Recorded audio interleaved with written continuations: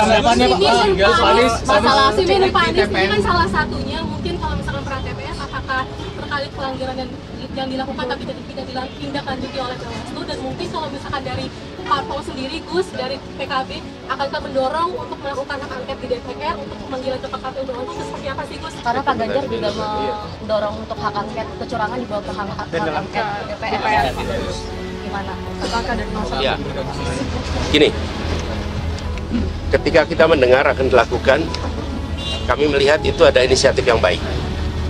Dan ketika Pak Ganjar menyampaikan keinginan untuk melakukan angket itu, fraksi PDI Perjuangan adalah fraksi yang terbesar. Kami yakin bahwa koalisi perubahan, Partai Nasdem, Partai PKB, Partai PKS akan siap untuk bersama-sama. Kalau dari Gus Jadi- bagaimana? Siap, saya memandang dengan adanya inisiatif angket, proses di DPR bisa berjalan.